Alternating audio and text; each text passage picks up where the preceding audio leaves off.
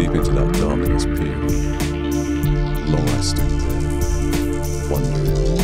fearing, doubting, dreaming dreams no mortal ever dared to dream before. But the silence crumbled, and the darkness gave no token, and the only word there spoken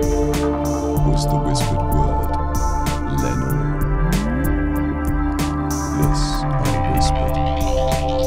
and an echo murmured back the word,